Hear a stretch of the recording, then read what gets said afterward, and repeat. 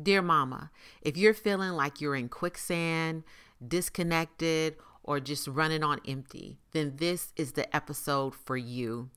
It is a reminder to not limit spirit, that spirit is in everything, and we must see it and act like it's in everything, and we must continue to dig deeper for a higher connection. In this episode, we revisit episode four, How I Made It Over, recorded two years ago, and evaluate our spiritual evolution since then.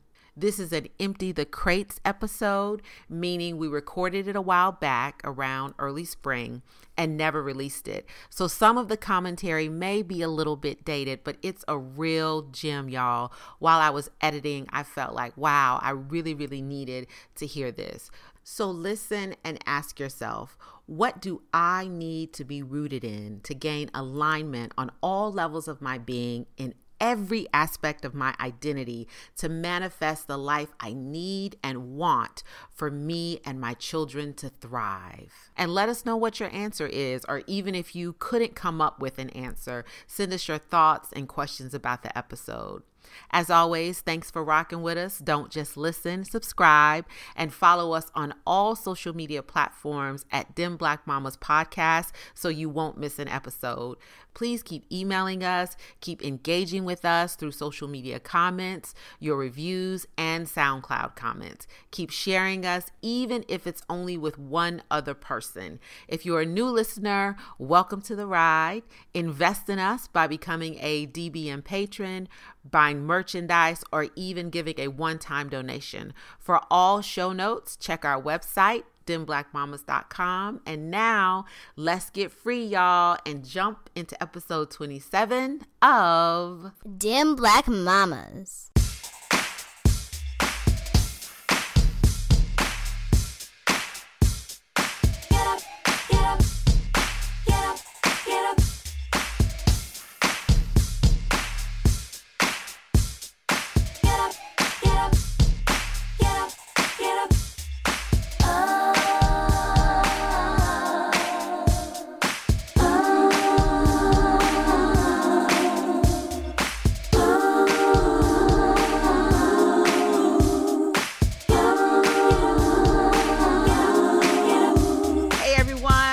Back to the ride. It's another episode of Dem Black Mamas. I'm Crystal Tennille Irby, mother of four, three boys, and one girl.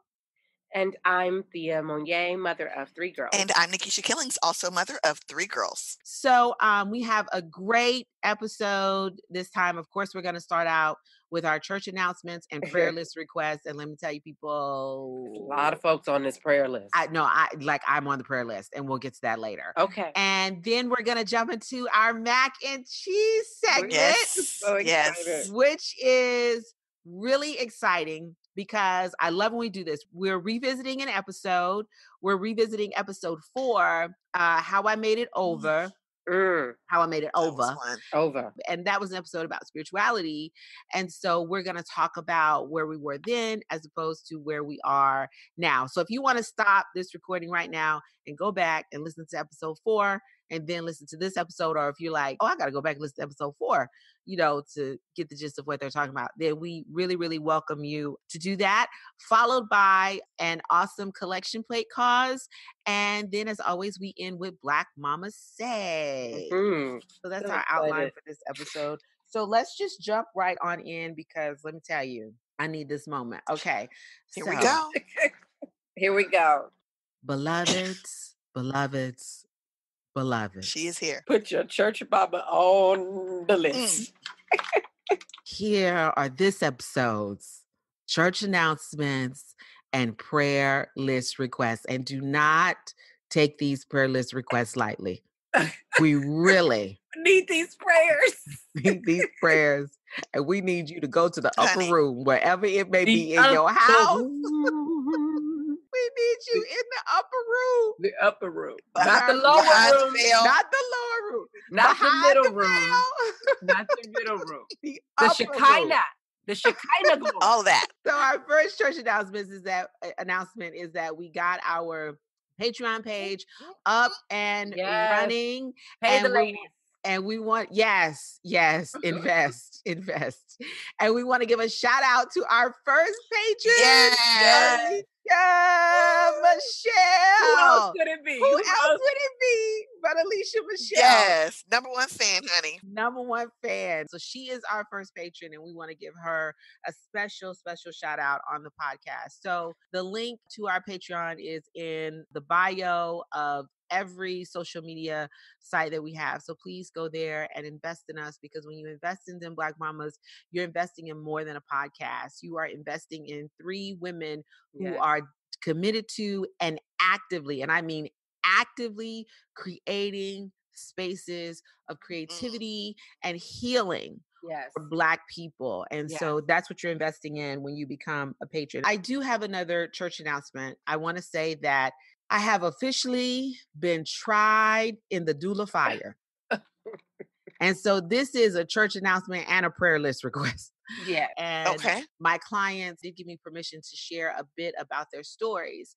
When I went through my training, my trainer took us through every single scenario. And I was sitting in the training like, okay, I get it, but I just know, you know, on my first couple of times, Mhm. mine ain't gonna be extreme like this. Cause you know, God just ain't gonna work like that. Well, clearly I'm not up to date on my relationship with God because God worked like that. God worked like that for you. God was like, okay, so you say you want to be a doula. So here we go. I have dealt with child protective services. I have dealt with uh, services for refugees. So one of my clients gave birth to a first generation American. And I am so grateful to say, and I, I do not say this lightly, because when you're in that room, It's touch and go. yeah, you realize that I am standing in the midst of life and death. Mm-hmm.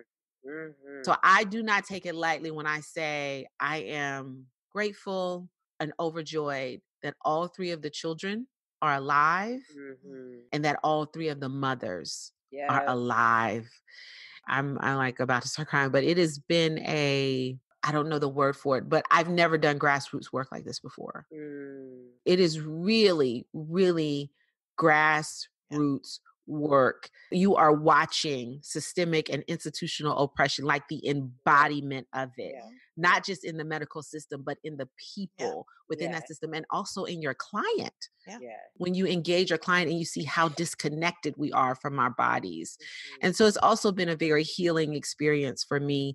And I know the direction that I do want to go in with this work now. Eventually, what I want to do with this work is go into policy Mhm. because that's really where the breakdown is. There is no policy around it, or there's policy around it that is just not conducive to a birthing experience Right. put me on the prayer list as that work continues. But my prayer list request is I was sick for like a week, which really, really threw me off. In the midst of me being sick, our washing machine and dryer gave out. And let me tell you, That'll stop all function. It will. that can end a relationship and it can also make you contemplate the number of children that you have. And then our refrigerator is on the brink. Mm.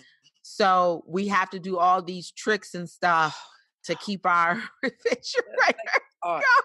that is a shout out to the rough over there. Patreon. We can't let a black mama and a black family go on with the refrigerator that keeps things lukewarm. It gives a lot to y'all. Y'all can help her Oh. get the fridge. So, you know, we got the washer and mm. dryer delivered. There was a dramatic delivery. Does that sound like one of your births? It was a Yeah, it dramatic does. delivery. It, it was.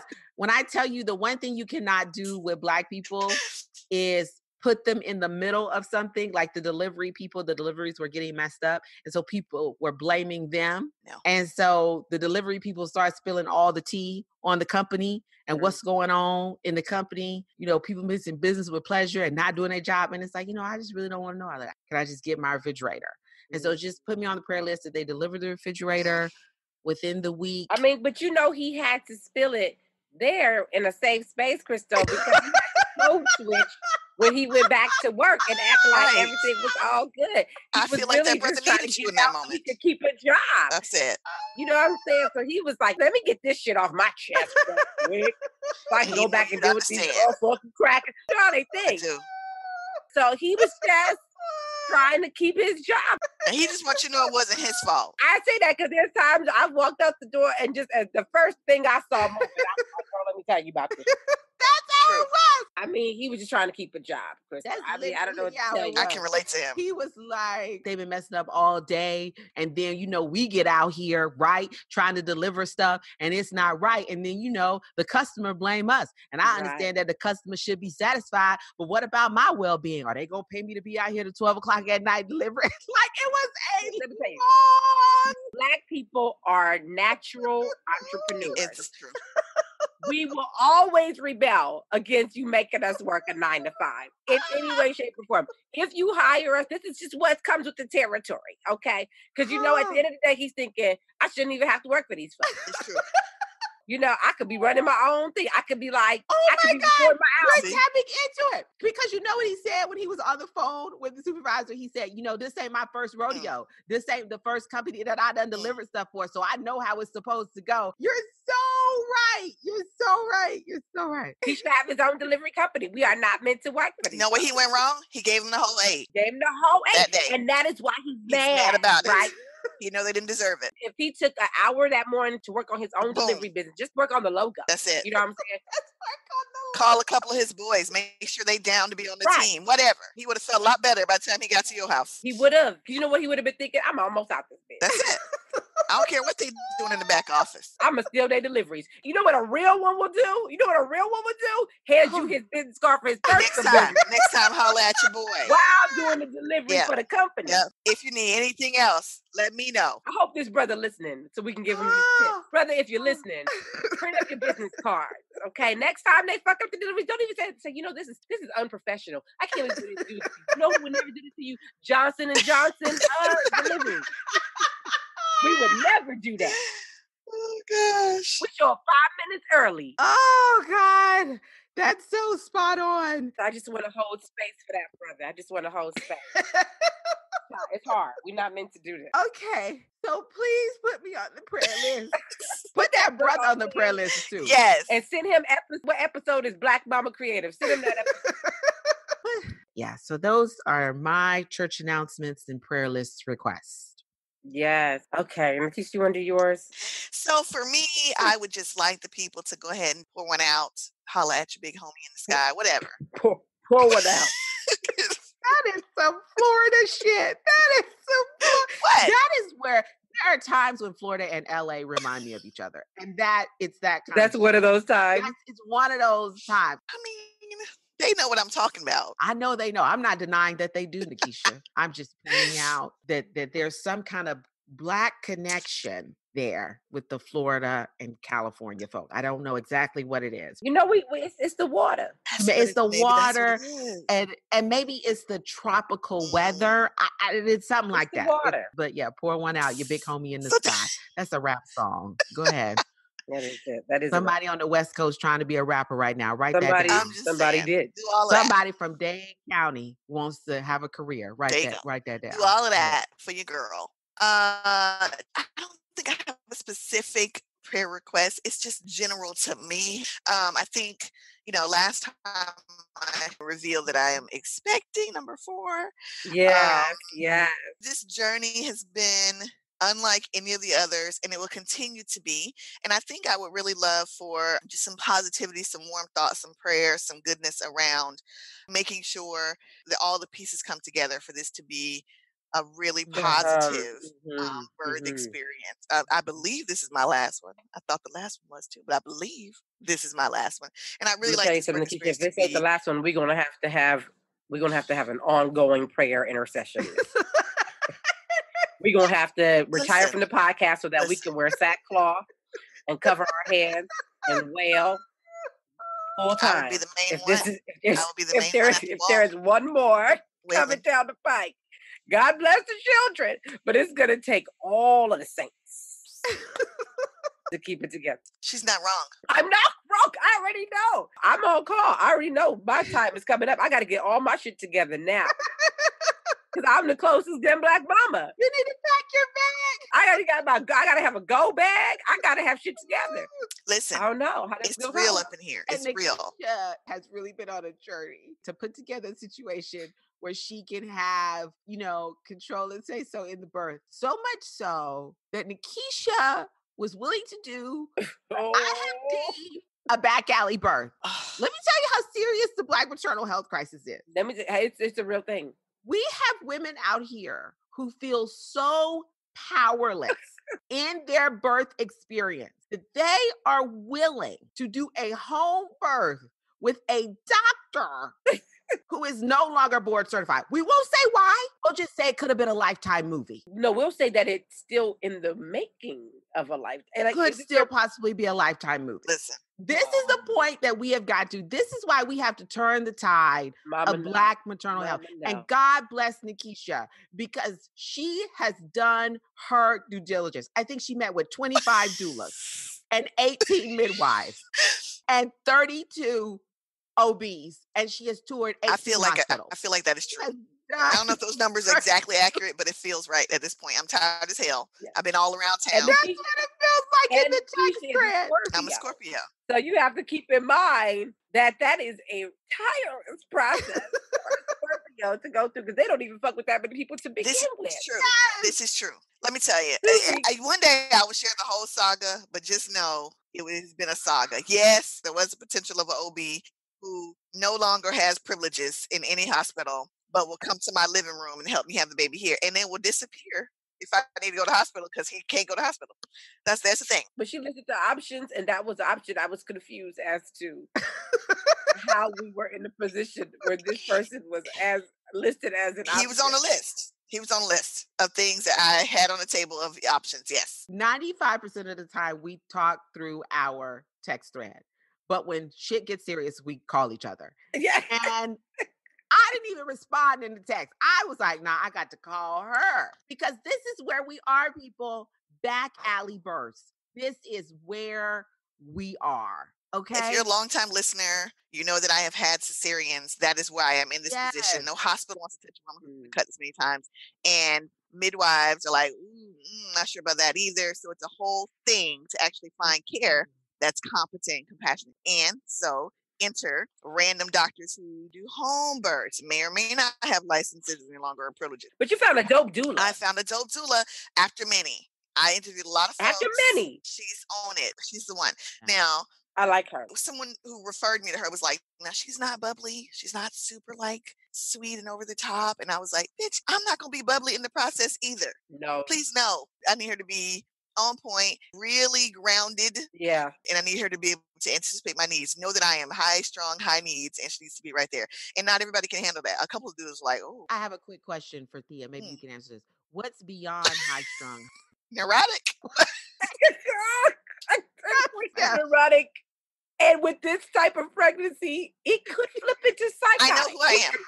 We can make the Yes. flip. We can make the flip. I'm okay with that. Her doula's job is to keep her in the neurotic, high-strung area and prevent actual psychosis.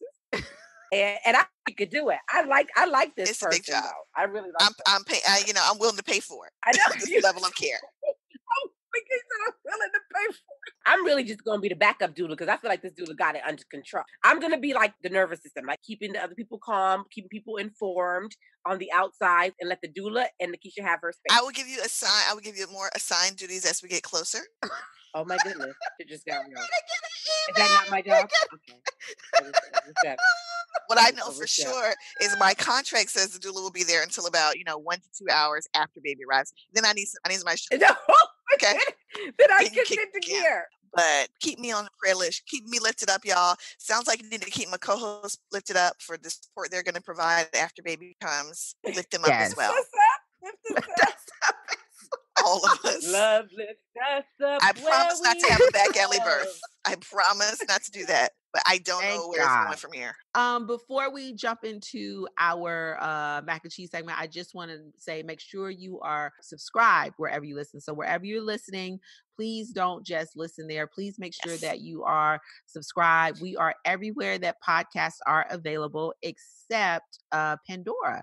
Uh, and we're going to be on Pandora soon. And make sure you follow us on social media. We're at Dem Black Mamas everywhere. And don't just follow us or like us, engage with us. We want to hear back from you.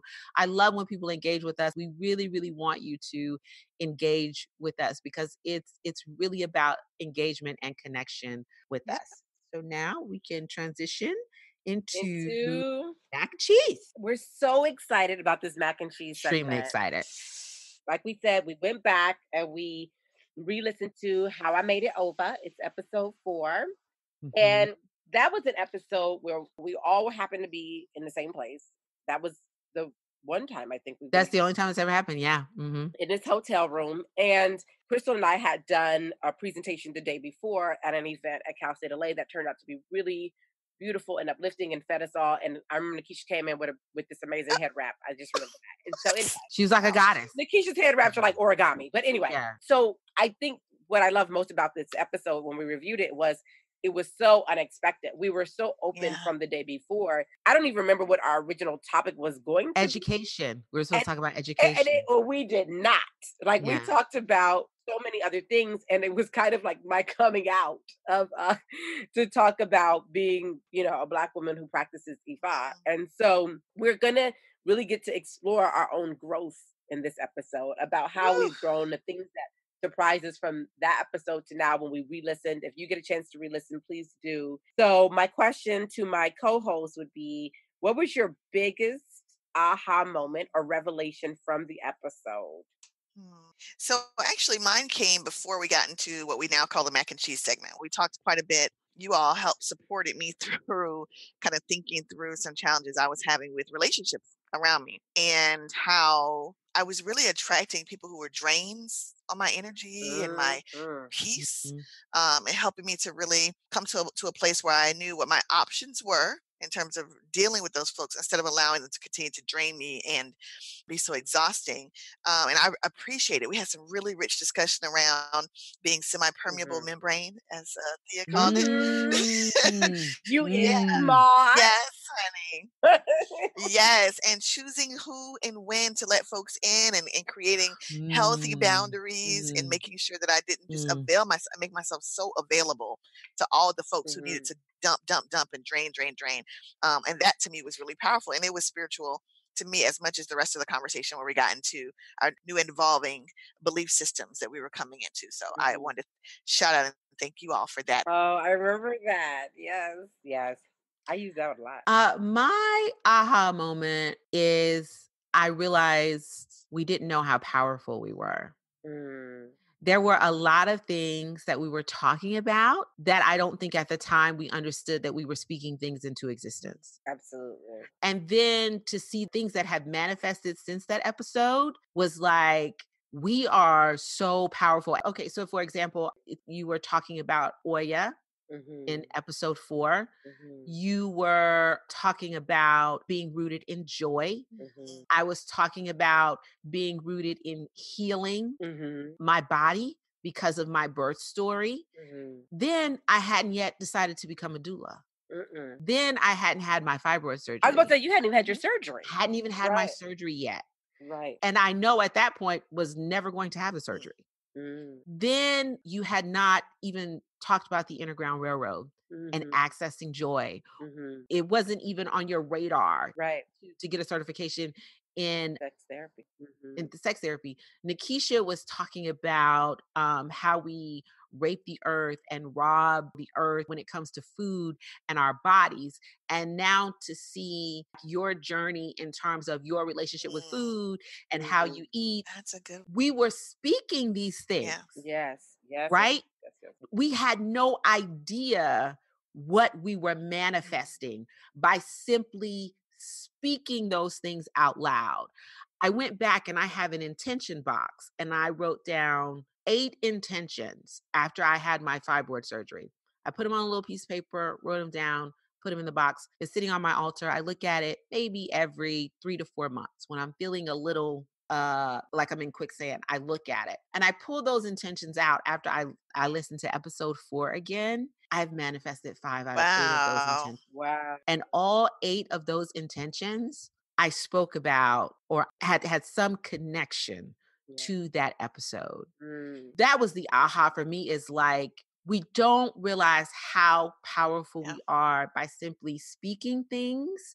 By simply speaking it, we begin the connection with the spiritual world yeah. and that begins the connection of manifestation. Yeah. It, it you know, I was texting you guys the whole time. Like it was amazing. It was amazing. That I had the same aha moment. Mine, mine was very much around the power of manifestation, but also that we know what we know. Mm-hmm. When we say that we came here with everything we need to know to be successful and to reach our destiny in this Mhm. lifetime, it's absolutely true. That episode also was a lot about our hindrances. Yes. What have been the barrier? Yeah. Yeah. you know, the social shaming around being Afro spiritualist, right? Never being introduced to terms like eco womanism, never being exposed to things about food consciousness, right? And so those barriers are in the way between us and what we know, but what we know is already there. And so Mhm. we've heard it a million, a million times. as, a million man, as a man thinketh, so he so he is. We've heard it through every text a million times. But actually, this is also the importance of documenting yourself, right? Like whether it's through video or audio or writing things down. Because I guarantee you, if you start to document yourself every year, when you look back, you'll see that you did more than you give yourself credit for. And this allowed us Yeah. to give ourselves credit for the work we have been doing. Now I'm working on something that I spoke about less than a year ago. Mm. And when it came back around, I realized, oh, my spirit was preparing me a Yeah. year ago for the Mhm. thing and gave me the, the next piece right now. And so, really being conscious that you know what you know and that your life is set up to reveal these things to you, but you have to be open. You have to have a practice, a spiritual practice, a food practice, a body practice, a social circle that really supports revelation Mhm. for manifestation and the unearthing of these things in you. Like I probably would have said the word healing a couple years ago. Healing is still my word, but also how to heal has become evident to me now. So I knew healing was my word, but now I didn't know that joy was going to be the pathway Mhm. that I use to that healing and that decolonization and pleasure and all these things would be connected to that idea. And I was this about the Oya piece. Oh, so oh, you know I get emotional. Yeah. Oh. Okay, so just a little backstory. So in the episode, Thea is just beginning the practice of Ifa, but I'm not sure if you had gone to a temple yet or anything Right. like that. But she was learning about the Orishas, and Orishas are angelic spirits that watch over us. Mm. Okay. So she said last year I was seeing so much Oya stuff. Mhm. Can you tell us a little bit about who Oya is? Yeah, the Orishas are like different, I would say, representatives of God. Mhm. So same way we think of angels. That's that's why angels was a it's a perfect example. spiritual force. the spiritual force and they govern different aspects of our life. And so Oya, from the first time I heard her name, something about her really registered with me. But people were scared of her because in the West, again, we've been conditioned to think of it a certain way. And she's highly associated with death, which actually in Nigeria, she's not. She's associated with the Niger River, she's associated with air, and she's associated with the marketplace and transformation. But she's also a warrior. She's not considered nothing to play with. You know, you got to approach her with some respect. Put some respect on her chest. You know what I'm saying? I think what people get wrong is they associate dismantling or destruction with death. Yeah. Absolutely. Oya is It's transformation. it's transformation. Transformation is a much a much more accurate Yeah, word to describe yeah, what she does. yeah. And and Mhm. nothing happens without that force, that raw energy that Mhm. converts things. You have to be very wise, loving, compassionate, shrewd, brilliant to This even how I be this is how I know that that's not my spiritual. to be to be in that position. The thing I want to connect is that for some reason her name resonated with me. She was the first Orisha that gave me any form of vision or spiritual contact that I know of, that I'm conscious of. So through my journey, I wasn't sure like who my Orisha was, but I always longed for her. I always hoped it would be her. And so when I did my one hand ceremony last year, I remember the day before telling my friend and teacher Maida, I said, What if it's Oya? Mhm. And I remember when Baba did the cast, and the moment he said her name, it was just like, yes! Like I was like Yeah. so thrilled because I knew I was hers. and you knew it before and also I want you to tell us about what a one one hand is. Yeah. But you knew it before you even really Yeah. I knew it in my practice. cells. That was the thing for me that that I was like, when we are really rooted, Yeah. when we really trust that root and that intention, when we're rooted from a clear space, because you can be rooted in all kinds Yeah. of things. You can be Yeah. rooted in your ego, Yeah. you can be rooted in money, but when you're really rooted in something real and raw, Yeah. you know, because like you said in that episode, we sound so Yeah. unsure. There are Yeah. all these hindrances and all this Yeah. other stuff. Well, that's how we sound in the moment. But then when we go back and listen, it's like we I knew. was dead on. We Yeah. knew. Yeah. Right. Right. I was we knew. the answers. Yeah. I think we were at the verge of beginning to explore what I now consider to be our ancestral spiritual technology. There we go. That's taking the place of Semi-permeable membrane. Um, semi-pyramidal our ancestral membrane. spiritual technology. Hold on, hold on. Whenever we have new theory on the show, I got a new thing to do. Pause for the cause, people. This is new theory. New here. theory alert. New theory alert. New theory alert. But it's honestly, it's not new. Me Mm, going mm, through. Okay. Mm, mm. We have the power we have to the power. manifest There you go. Absolutely. Absolutely. Cause I ain't never heard nobody say. ap- Keisha, you ever heard anybody say Ancestral Not once. spiritual Nope. technology. Okay. But you're right. Oh, girl, we got an acronym. AST. Okay. There we go. And we always say that I asked for it. We've already been using that term. Tell the people what it is. Tell the people. I'm telling y'all, you know what you know. That wasn't You Ebonics. just said somebody That free today, girl. You just ancestral said spiritual somebody free. technology. Dun, dun. Start Ah. shouting.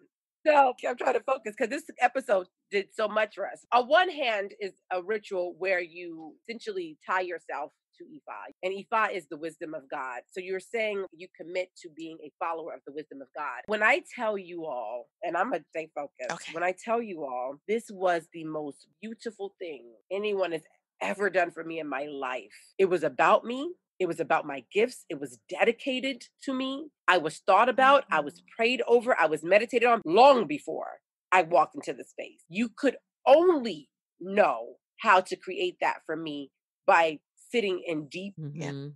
meditation and accessing some form of spiritual Yeah. technology that I was like, oh, I need to understand and learn Mhm. this because it was cellular. There was so much joy. And I really feel like that ceremony shifted me to a joy perspective. All my work from that moment, partly it's because that was such a theme in the ritual itself and how he created it. When I say ancestral spiritual technology, what I'm saying is that I, it was very clear to me why they would not want us to know this about ourselves or feel this Uh-huh. way or have access to tools that opened up this part of ourselves that said, You are so worthy and valuable to this space that we have put so much time and energy and love and thought and meditation and prayer and ritual and herbs and water and everything into this Yeah. because of you. Yeah. This one individual. We believe in your destiny and we love it so Mm. That we are all here to make sure that this thing comes forth. Understand, people, this was our normal. If we were using that level of spiritual knowledge and technology as our normal every Mhm. I believe there was nothing metaphysically that we were not doing, mm-hmm. that we really fully understood how spiritual law and physical law interact with each other and how spiritual law and mental law can bend and move things in the physical world. Jesus talked about faith, which is metaphysical, the size of a mustard seed, moving a mountain, which is a physical thing. We knew how to access these things in that moment. Yes. And then to know I am hers, I am Oya's, who is over this transformation, who brings these two worlds together for the sake of removing the dead things. I have not walked or thought the same Mm. since. And the gift of it, I think that's what I strive to share in my work. Whether or not people decide they want to practice Ifa, I want them to have access to this gift. That's how my work has changed. Like I'm trying to figure out how to gift this freedom to others. That's a beautiful thing. It is. I was wondering if you could tell the people what does it mean to be Oya's. You said you, you were so elated to know that Mm. you were hers. So, and everything in Ifa is relational and informational. It's really about, you know, less about good, bad, and more about here's information. Mhm. You know, the technology accesses information through the wisdom of God. And all the information is about is are you in alignment with your destiny or aren't you? So it's all about alignment and relationships. So you have actual relationships with these energies. Just like you have your physical world friend relationships and family relationships, you have a spiritual world relationship. So to be Oya, what my goal is is to become a sh- living shrine Mm.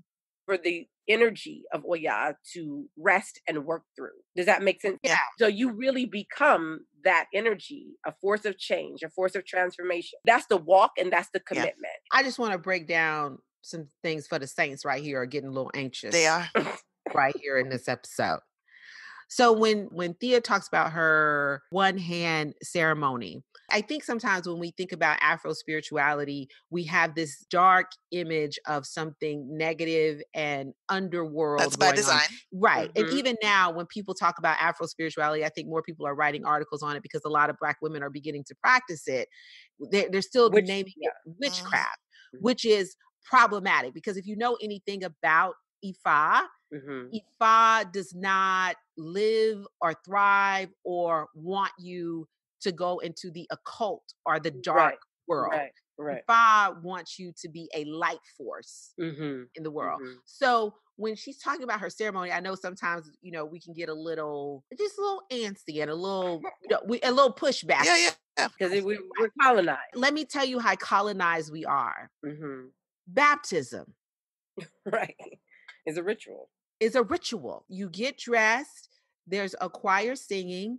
They Mhm. recite scripture. They Mhm. pray over you. Mhm. You've had classes and information about the faith that you're supposed to practice, which Mhm. is based on a virgin getting pregnant by an angel and having the Mhm. Son of Break God. it down. Break it down. I'm not saying it's not true, but what I'm saying is If we can believe that. if we can Mhm. believe that and then have a practice that confirms it, that Mhm. when you are dumped down in water, not one time, not two times, but three times, because Mhm. Father, Son, and we Mhm. believe that there's an angelic spirit watching over us called who?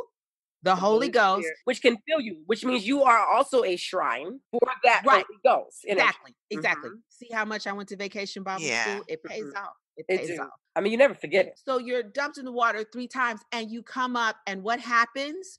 Your mind is renewed. You are supposed to walk and talk and have a different Mhm. intention in life because salvation is an instant, sanctification is a lifetime commitment. That is a renewing of the mind because your heart has changed and it's a renewing of the mind. And if you want to rewind this and listen back to what Thea just said, Mhm. Mhm. how is that any different? Yeah. So the fear that we have is a reflection of the colonization. Mhm. And I'm telling you that the fear was there because if you know it, if you Mhm. know what you really have access to in terms of this ancestral spiritual technology, Yeah. if you know that you have a village of people who are praying for your destiny to be Mhm. fulfilled, you will act different. You will walk free. You Mhm. will be decolonizing yourself actively. For those who are who are interested in getting into this in a little bit more academic way, I want to recommend the book African American Religions, 1500 to 2000. Mm. um, by Sylvester Johnson. I just flipped the book open as we were talking because I wanted to make sure that I wasn't going to say something that was Mm. incorrect. And it flipped directly to a page that talked about Africans who arrived in the Low Country, which was Florida, Georgia, and South Carolina, around the 1700s and 1800s. And it talked about many of them had been converted to Catholicism back in Africa before they came. So there's a strong Catholic kind of strain running through the people anyway, but they never let go of their original ancestral practices Mhm. either. Mhm. The whole Mhm. page talks about how important water was to them and nature and Mhm. connecting to water, Mhm. and that even in their enslaved states, they treated fishing, hunting, nurturing produce Mhm. from the soil as a spiritual kinship practice because they were holding Yes. on to what they what they knew was right in terms of connecting with the earth. Yes. Even though there was some Catholicism forced upon them, they still Yeah. held on to their ritual. And you see Yeah. it today in the black church. We do some stuff the white church Yes. don't do, right? Right. we do a bunch right, of stuff that we have just held on to because we knew it was right. And it's, if you think about it, it's the stuff that makes us feel most connected. Absolutely. Oh, dancing, the music, these are the things Yes. that lifts us to a higher realm. That if we go sit in the average white church and we're just like, what the hell? Girl. There's no connection. Where's the spirit? And that ties into what Crystal was saying earlier, because the thing you realize with Afro spirituality is that it reintegrates, and this is the, this ties into eco womanism Yes. as well. Eco womanism recognizes the human world, the living world, the non living environment, and the spirit world as one superorganism, and recognizes that human beings have injured that. And so the idea of healing that comes through the re spiritualization of practices. Yes. So reintegrating spirit into everything we do. So what colonization did was take spirit out of our Absolutely. everyday existence, our food, our water, our family, our, our rituals, our into everything about our bodies, our home. And it said to access spirit, you have to come to this particular place that we own and we Mm. control. And so what Afro spirituality does is re-spiritualizes the world around you. And when you see the spirit of God in everything, how can you not change how you interact with yourself and the world? the thing that I realized in listening to the episode is in term when you're when you're talking about religion and the colonization and and it doesn't allow us to see God in everything is that we live in a culture that doesn't cultivate intimacy, which mm. is the first step in True. spirituality is to have an intimate relationship with God. And so in Western culture, religion or spirituality is not cultivated to have an intimate relationship with God. It's used to punish, hmm And control to control. control, to punish, Such patriarchy. yeah, to shame and condemn, and it's outcome oriented. Absolutely. So True. you do these things, these things, and these Yeah. things, and you'll be blessed. And so Mhm. when we don't cultivate spirituality in a way that makes us dig deeper yeah. so that we can access our Yeah. higher selves Yeah. to gain a connection with God because we're so indoctrinated with tangible outcomes. Yeah. And the outcomes that you get from that deeper relationship aren't Yeah. necessarily tangible. I, I say that to say that that shifted everything for me. And the example that I always give is I used to be so numbers driven with this podcast. Yeah. Mm-hmm. Like we had 50 listens, now we get 100, but we need 300. We Mhm. only got this many people following us. Mhm. w- We not live on Twitter. And that got me jaded in Mhm. terms of the impact that we Mhm. do. And what I realized is that Mhm. the numbers are an illusion of your success Mhm. because I can have a million followers, but no one is talking back to me. yeah, they're a white metric. Yeah. Yes. Numbers are a white metric, and we don't measure things in terms of numbers. We measure them in terms of feeling. Yeah. Right. And so what's real is the engagement because the engagement is about connection. It's about Relationship. relationship. Yeah. What's real is not how many people follow us. It's about how many people have something to Yeah. say, how Mm. many people want to talk with us and to connect with us. And so when you make that spiritual shift of spirituality for me is not about control, it's not about condemnation, it's not about shame, it's not tangible outcome oriented. Spirituality for me is about digging deeper Yeah. so I can access my higher self, so I can connect with God and I can connect with other people. You begin to be Mhm. rooted in something totally different. And then you can actually make real things. Yeah, I. I feel like Right. that. I feel like this is th- somebody out there listening to us is is fi- trying to figure out how this uh, might look in their lives, and I, I want to talk about your Mm, work, That's a great. the thing, the thing you've been working really hard at, kind of trying to hit numbers and trying to make a certain dollar and trying to um, acquire Mhm, more mhm. things, and the focus should Mhm. be on building relationships. And Mhm. when you're giving them It's- your whole nine, who are you Yeah. helping? Yes. And I- I think that's really important because I think the pushback on a conversation like this is often like, but poverty is real. Yeah. Systemic and institutional oppression is real. So you're telling me all this, but where does all of that fit in? when we're talking about this shift, we're talking about shifting from the tangible to the intrinsic. We are talking about a practice that doesn't give you necessarily immediate outcomes. It starts to give you access to parts of yourself, to parts of Mhm. your ancestry, to parts of your bloodline, to parts of your spiritual line, to your gifts, to your abilities. It starts to expand you and awaken you. And when that starts happening, the way you look at the world and how you can move it, how you can shift it, where that power comes from, completely changes. And so that includes systems. And and how we know is because there are some people who were poor but didn't know Yeah. it. Me, Yeah. I have a poem that says, Yeah. I never felt poor. We Yeah. was broke as a joke. And let me tell you how powerful this mindset is. I did not know that we were poor until I was in high school and we had to fill out a form about how much our parents made. And it broke Yeah. the form down into class. Mhm. I went home and I asked my mom, I was like, How much money do you make? And she was like, Yearly? And I was like, Yeah. And she told me, and I was like, What? Oh my God, it says we're poor. Yeah. you didn't know because of the Yeah. quality of relationship yeah. and the quality of engagement. We have to remember if we were in a space designed by us and for us, then a lot of things that we spend energy feeling like we're missing yeah. out on or gathering now, we would we would not be doing that. I'm gonna say this again because I think people say greater is he who is in me than he is who in the world. We hear that God is in us, but we do not believe or walk around like God is mm. in us. When I say we are shrines, yeah. I am I'm not about to shout, about to run around the room. I am not saying anything sacrilegious. I'm not saying anything that your Bible did not say. The mm. difference is the Bible says it, but the practice does not support it. The practice wants you to continue to go to a building, to people outside of yourself to validate your spiritual relationship. And so when you are the shrine, when you have the shrine in your home, when you are the shrine, you carry the shrine and you are that wherever you go. So my biggest frustration with Christianity is the rewriting of Jesus. Mm say that if this is this is my brother i am a child of god this is my brother because the bible says you were adopted right into the family of jesus christ if god created me and god created my brother and and my brother came to show me how to live and my brother said to me Mm-hmm. Say you it. Will say do it. Greater, greater work. works than me. Because wait, this this this is an important part. This is an important part. Because I'm going to my father's house. Because y'all have worn me out. That's what I'm about to say. If we really look at the story of Jesus, what we actually see is a tale of frustration.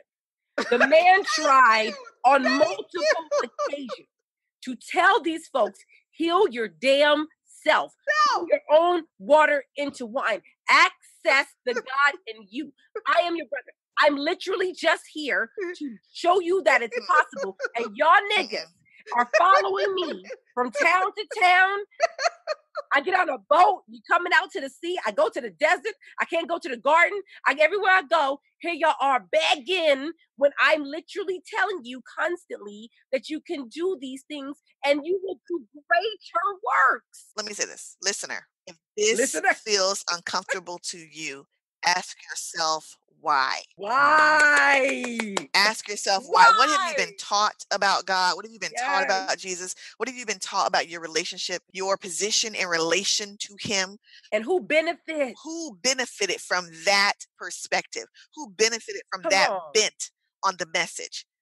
Think about it. because about he it. told you. If you believe the Bible is the true word of God, and Jesus said these things himself, I have no idea why you were letting other people convince you something other than what your teacher told you. Your teacher said that all these things were possible. So, what we're talking about is spiritual immaturity, then, right?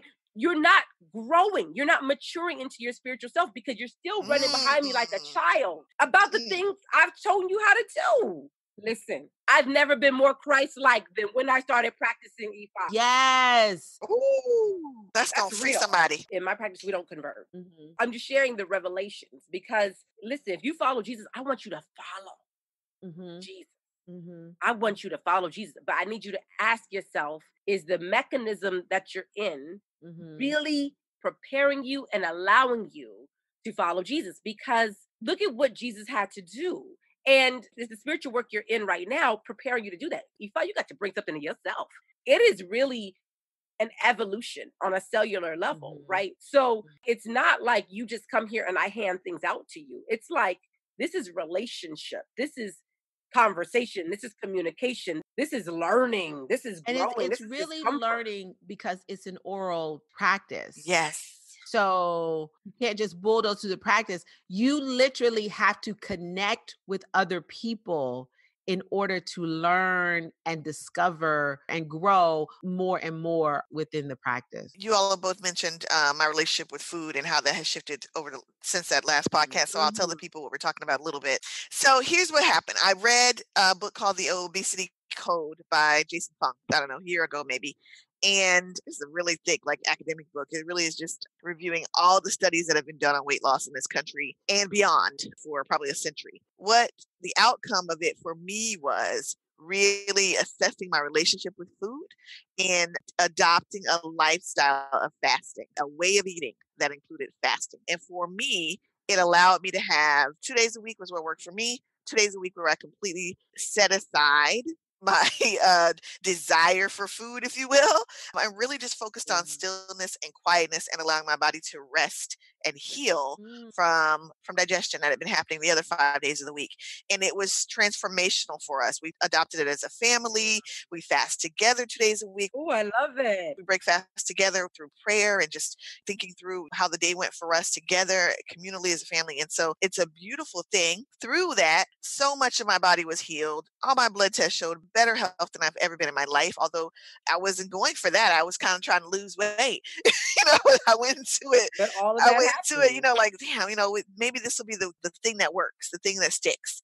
And it really was really eye opening for us. And, and we learned so much. We continue to learn so much.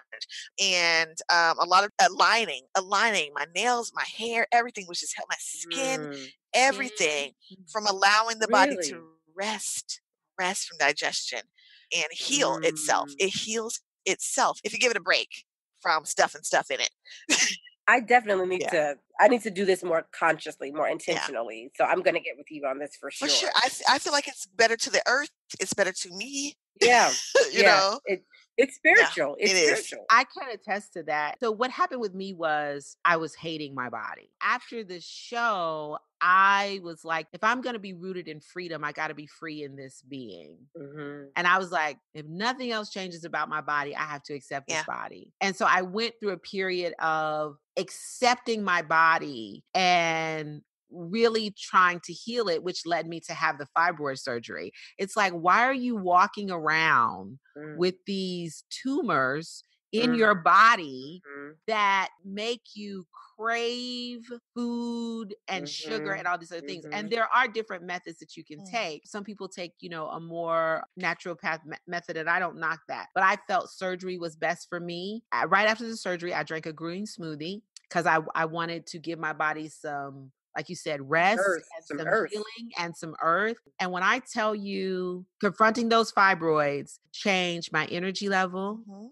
Changed my skin, regulated my moods. My mood swings were so heavy.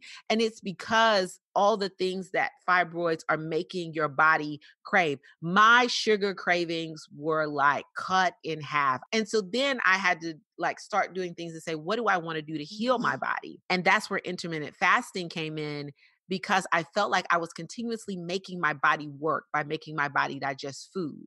Mm. And what happened through intermittent fasting was my diet began to center on water. Mm. Mhm. So now I don't track what I eat. What I do track is your water. how much water I drink a day. Mhm. I drink at least a hundred ounces to a Mm. gallon of water a day. And intermittent fasting forces you to do that because you have to put something into your body. And you'll be surprised how much your body cannot just live off of, but thrive Yeah. off yeah. water. And if you're drinking that much water, I can't eat nearly as much. Yeah. And so that's sort of how it's changed for me. And in terms of family, they follow my behavior. Like Yeah. the last meal is a 745 snack.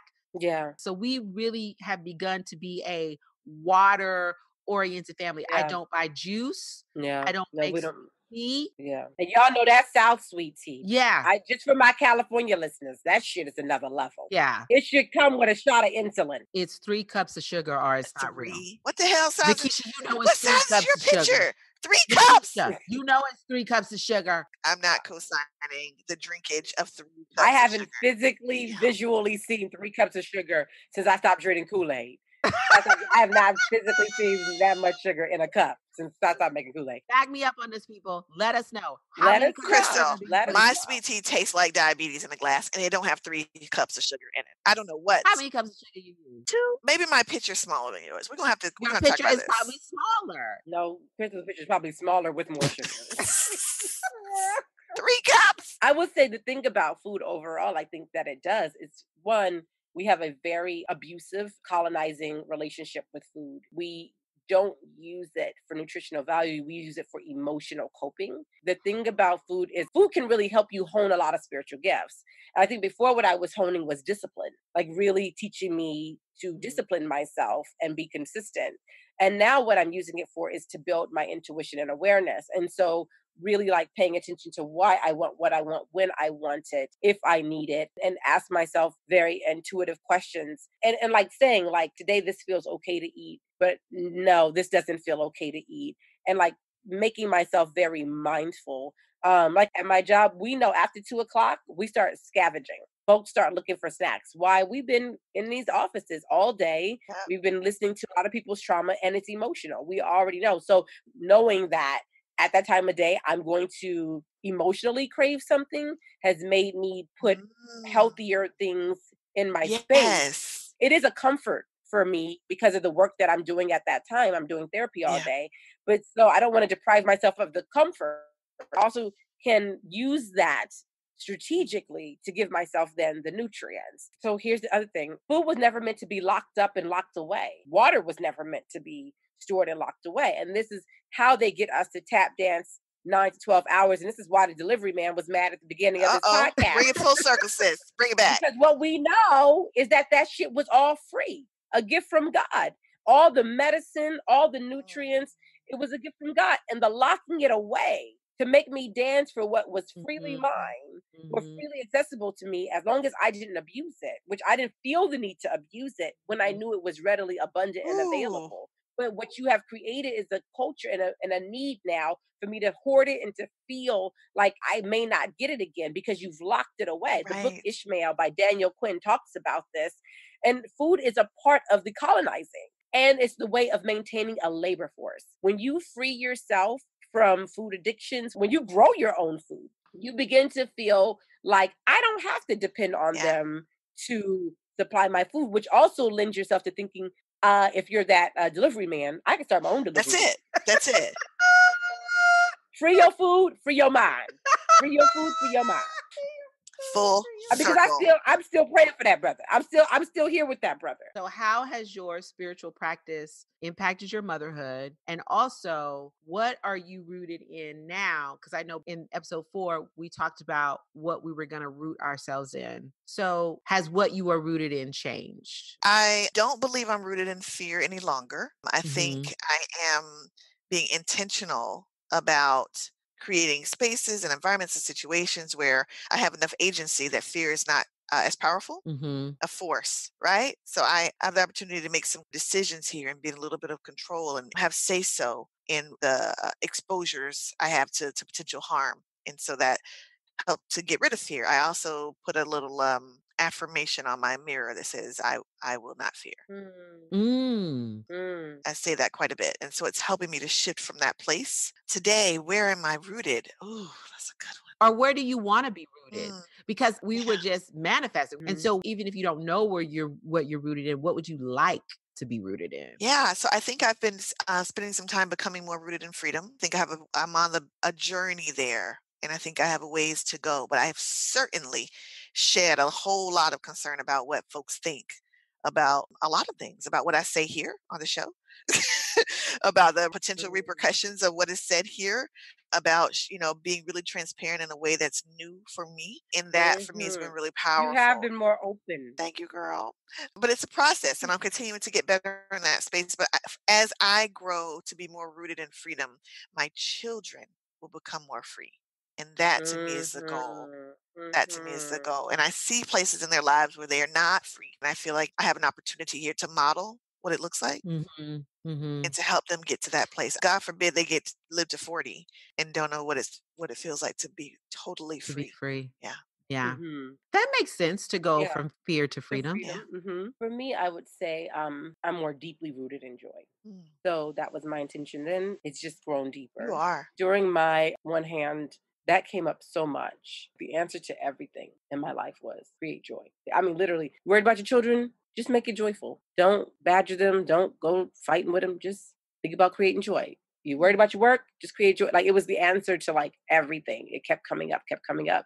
And it made sense based on how my teacher ended up structuring my ritual that it created so much joy. It's like I've been feeding off of that for some time. So I think what I, what I'm working on in my practice is that if I prioritize my joy, not just me producing and creating and giving joy, but if I prioritize, am I doing things because I enjoy them?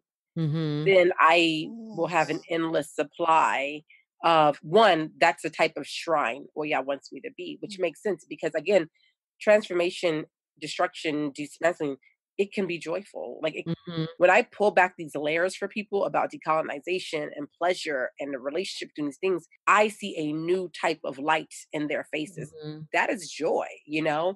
And so it's definitely impacted my parenting because when I don't know how to respond or I'm going to respond a, a typical way, I have to ask myself, could joy solve this problem right? Could, i'm approaching this like do this this way do this this way but i could just say let's lighten this up. Let's you know let's enjoy this. How can we enjoy this space? How, i can just reframe it. The other thing is one of my children the youngest one in particular like she's been drawn to this practice from the very beginning and it's become more and more clear that she's actually going to walk in the practice and Mm. called to walk in the practice and she's she's over the moon about that. The other two i'm letting them figure out their way but i notice little things like i noticed them lighting my candles or i noticed them offering to take care of my shrine or lighting the incense or like we do a offering every five days and you touch everyone with the, the nut you're going to use for the offering and like they don't give me any pushback. Mm-hmm. Or i openly do my prayer i openly do my chant. I think where i was before was it was very because of the shame around Afro spirituality, I think I hid my practice even in my home. I just kind of did it to myself and I didn't feel secure to answer questions. I mean, I think sometimes I even would feel insecure if I came into people who were from Africa, Yes. if they would question what I was doing or was I doing it right or whatever. And I'm and really just gonna leave that alone. if really going to Panama help me understand my ancestral birthright. No one can tell me what's mine. You know, Mm, no one can mm. tell me what's mine. And so now I'm a lot more visible, which I think helps them to become a lot more visible. So if something's happening and I'm like, oh, that's Oshun or that's Oya, or I'm pointed out and they're like, which one is that again? And so they're learning it their own way because again, I'm integrating spirit into everything. Mhm. So I'm pointing out to them that spirit is in everything, even if they don't know that that it's the Ifa, right? They're engaging in eco-womanism, which is to me a derivative, a political term for what I'm doing in Mhm. Ifa. And so I see that, and I see that in them. I see them trying to then think from a joyful place. It's still a struggle, but I see them at least incorporating it into their mindset and beginning to revere things as though spirit is in everything. Yeah. You know, hmm and I don't know how that could ever be a bad thing to know. Yeah. So for me, I was rooted in freedom. And I think I have really embraced that. And this coincides with how it's impacted me and my family. So much so that um, I now have an altar in my home. And so there's just a lot more intention in my practice. And where that's helped my family is we were going through this thing where I was holding on to this notion that Q baby should be the spiritual head of our family based Mhm. on Christianity. And so I would criticize him, like, well, you're not doing this. You're supposed to be spiritual head. You're not doing this. You're not doing that. And I was praying, I was meditating one day, and like a vision of the Black church came to me. And I kept thinking about it. And it was, it's predominantly women. Women, And women. Black women control the Black church. Indeed. So why are you asking him to do this thing that you're going to criticize anyway? Right, Real talk. Because right. you know more about Yeah. it. You Mhm. do more studying about it. Mhm. You know how to guide it better. Why Mhm. are you holding on to the notion that Mhm. he should do this? And I was only holding on to the notion Mm. out of colonization. Mhm. And it Mhm. was like, but you're rooted in freedom, right? Mhm. yeah.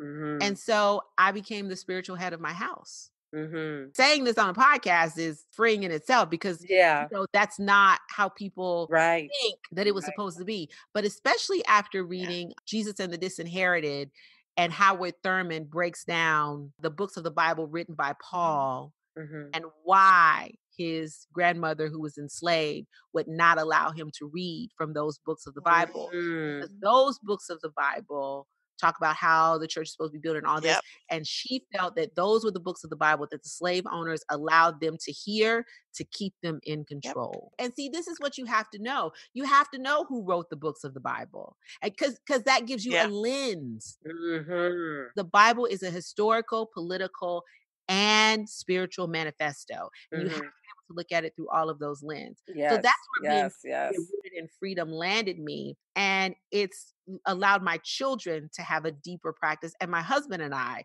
to have a Mm. deeper uh, spiritual connection and Mhm. practice. And so now I'm rooted in abundance. Woo. Let me tell you something. Oh, I love that. I'm just I I'm just that. thinking about when we listen back to this episode. Yeah. Yeah.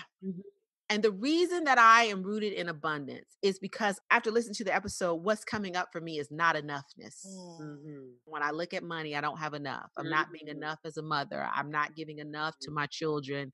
I'm Mhm. not working enough. I'm not working hard enough. And so I said, if a, not enoughness is coming up for me, what is the opposite of that? What what is it that that I need? What is it that I need to manifest? And what I need to Mhm. manifest is abundance. And Mhm. I'm not talking about wealth. Abundance. right. I'm talking about abundance. And the difference for me between wealth and abundance is abundance is rooted in a collective intention. Mm.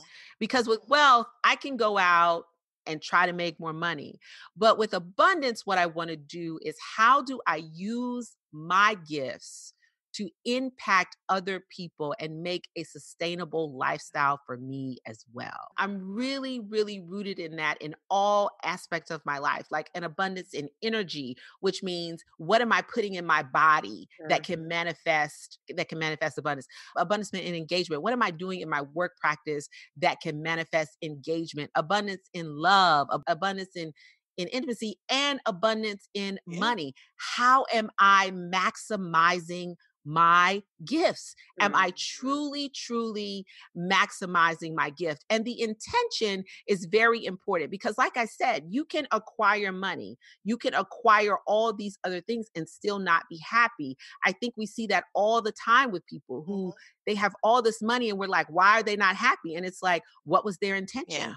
Mhm. what was their intention behind i think of kyrie irving who is a basketball player and how he left the cleveland cavaliers and he wanted his own team and he wanted to make all this money and didn't like being on a team with lebron james because you know lebron got all the attention and now he is miserable he got Mhm. all the things he wanted but his intention was rooted in Yeah. ego Mhm. And greed. and when Mhm. your intention is rooted in ego, I feel like it breeds Mm-hmm. this unreal competition. Mhm. Because if you're rooted in ego, you're never going to be enough. You're never going to have enough. So the intention for me and calling it abundance is very, very important. And it's also an issue of worth for me. Mm. Like I I, I couldn't see an abundant life for myself. Like I literally couldn't visualize it. I could visualize freedom, but I couldn't visualize abundance, having enough to share with people. And I thought, why is that? And it's an issue of feeling not enough and not worthy. And so my prayer to myself and to my Ori Mhm. every morning is root me in abundance. Abundance. Show me how to manifest abundance on every single layer of my It's being. beautiful. Joy, abundance, and freedom. That, It Yeah. ain't bad, honey. It ain't bad. It ain't bad. It Yes, ain't bad. It's, it's a beautiful thing. I Yeah. can't wait to circle back I here and, and see where we I are. I can't can't wait wait either. That's gonna be crazy. I can't wait to listen to this episode. so I guess I mean, how do you wrap this Yeah. up? I mean, we don't could go on and on Yeah. all day, but the reality is the reason we're this vulnerable and this open with sharing this with you all is because that's how we roll, Yeah. period. But also and we free um and grown, but also because as we expand and challenge ourselves, we want you to feel free and give yourself permission to do the same. What we share is our experience and it's blowing our mind as we go. Mhm. and take what worked for you and leave the rest because it's at the end of the day this journey is unique to each individual i don't know what your destiny is i know you have one i know you have one and so how your food practices what your spiritual practices all Mhm. of that will be tailored to you and your particular destiny but it is worth investing the time and energy and knowing and figuring out what that is for you which may be different than the three of us but we just say start the journey and and keep walking in that direction and you will begin to find these things open up for yourself and um, that you'll feel closer to what you're supposed to do more rooted in who you are and we wish you nothing but joy freedom and, And abundance abundance. Ah! Ashe. Ashe. I love that. Okay, so we are now going to transition into our collection plate cause. Collection plate causes are causes, organizations, initiatives, art projects we feel deserve to be amplified and are worthy of your time, attention, and yes, sometimes money. If you can't donate, we ask that you pass the collection plate by sharing information about our collection plate cause on social media using the hashtag collection plate cause.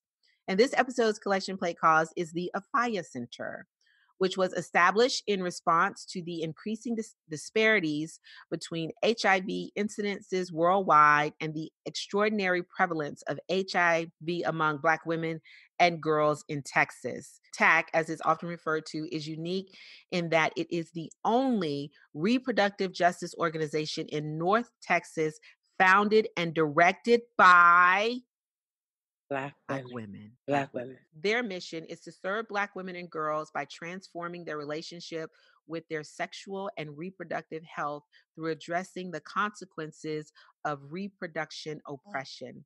You can find out more information about them online at the afiyacenter.org. That's A F I Y A center.org and on Facebook and IG at the Afiya Center and on Twitter at oh Twitter at, at the Afiya CTR, which is short for center. Please support them.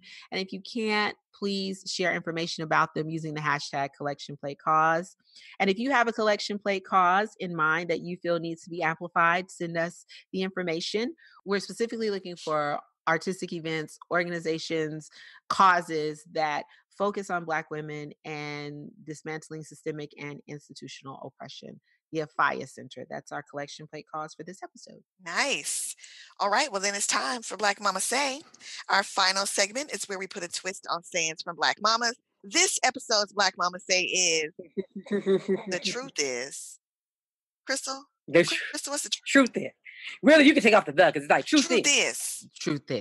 Truth Crystal, is. tell us what the Oh, truth is. Fantasia had a song. Truth Truth is- is. I never got over you. is. You know what? Truth Listen, I can't. I can't talk about Fantasia. I can't because you know I know you I love am a her. I Fantasia know. stan. I know can't. you stand for Fantasia. I know. stand for Fantasia. Anybody I that will fuck up a hairdo for a single song gets nothing Shoes but love off. Oh, from she me. goes all the way in, honey.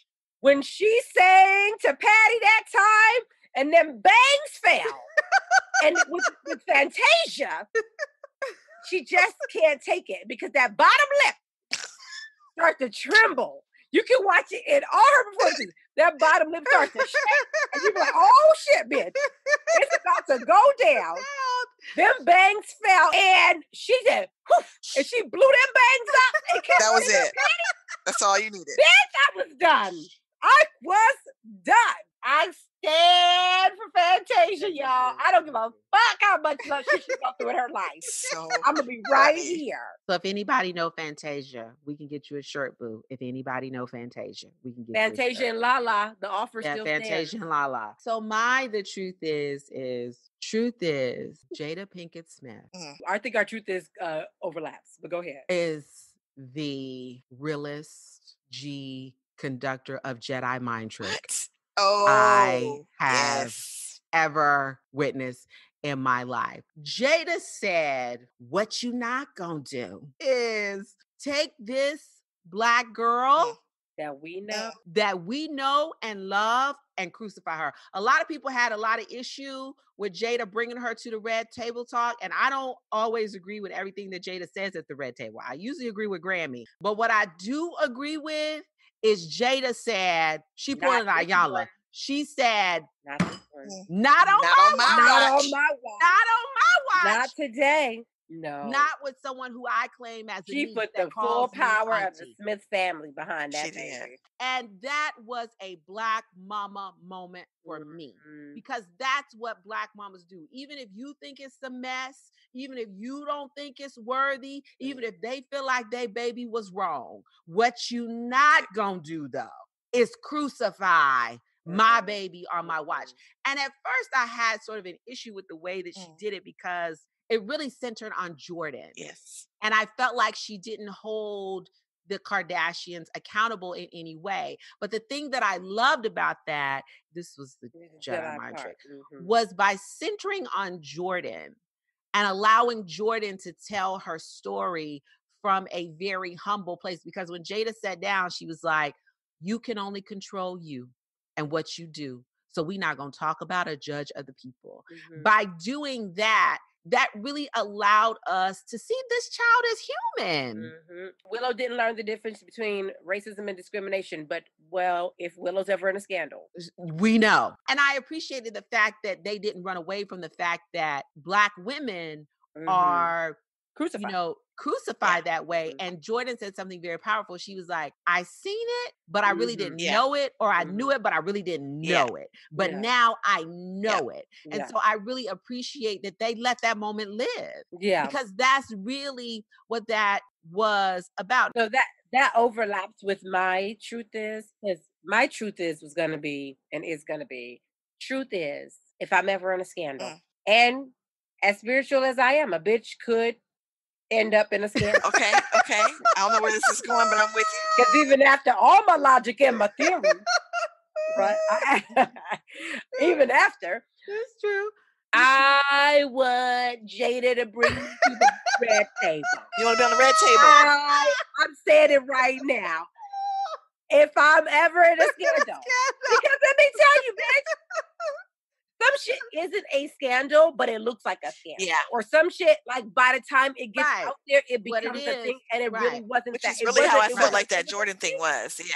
Exactly. It was a. It was a. It was a. Mm, poor. It was poor judgment, but it wasn't malicious. And I don't even know if it was poor judgment, but we could talk about that another time because what truth is, what people didn't catch is she said, We went to Tristan's house. How you with Khloe, you got your own crib. They ain't together. But don't nobody want to talk together. about that. I left them alone when she named that baby True I mean, because I said, "Oh, this is delusional.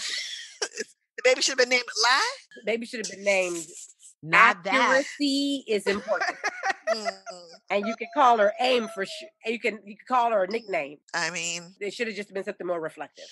Uh, but but but if a bitch is in a scandal, get Auntie Jada on the line. We got you, girl. I'm asking the DBM community to lobby on my behalf for Jada to bring a bitch, Somebody out here got to know how to reach Jada. bring a bitch to the red table. To the red table. The To the red upper table. room. We don't have the upper room. We got the red table. I need y'all to get Jada to me so I can be like, Jada, let me tell you how I really went down. And the truth is, from now on, I got another one. And the truth is, from now on, I want Gayle King to Listen, interview every black really man it. that's ever accused That's of the something. truth right there. That I-